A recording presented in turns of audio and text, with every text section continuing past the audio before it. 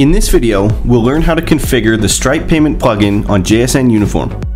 Make sure JSN Uniform extension is installed on your Joomla site.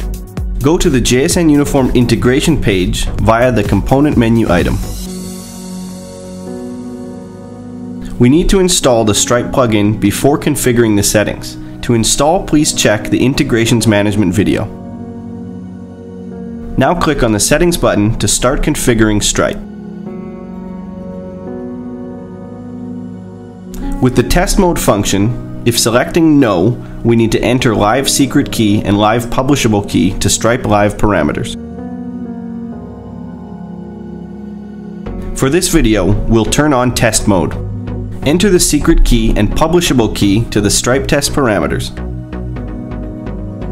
To get Stripe parameters, visit stripe.com and sign in to go to your dashboard.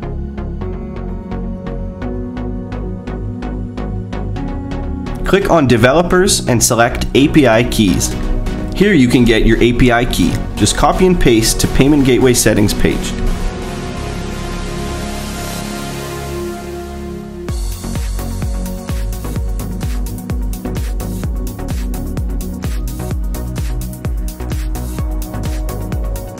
Go back to the Payment Gateway Settings page to check more about extra options.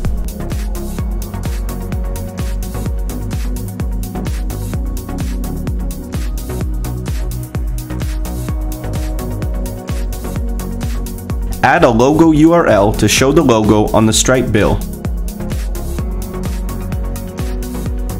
Name option allows you to show the name of your company or website on the bill. You can add a description of the product or service being purchased as well. Select Yes if you want to collect user's billing address and zip code. The Receive Confirmation of Successful Transaction option allows sending of an email to the admin and submitter when the transaction is done. Archive Cancelled Transactions allows you to archive or not cancel transactions. You can also set the currency for your payment gateway. By default, the currency is US dollars. The last one is currency symbol position. You can select left, right, left with space, or right with space. Click on the Save button after finishing. After configuring the settings for Stripe, to test a checkout, you need to go to the Form Settings page to set the payment integration. Select Stripe and don't forget to enable payment features for fields you made the payment on.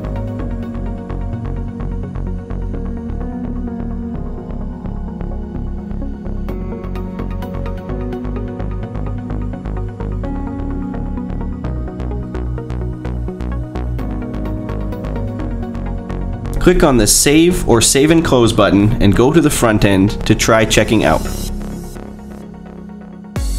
Go to the Payment Form menu item. Select a product license and click on the Checkout button.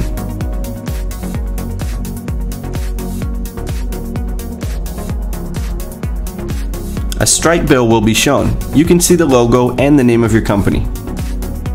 To complete the checkout, we need to enter email, card number, date, and CVC. After that, click on the Pay button. The Stripe payment plugin has now been configured. Thank you for watching. Please check our other videos to learn more on how to work with JSN Uniform.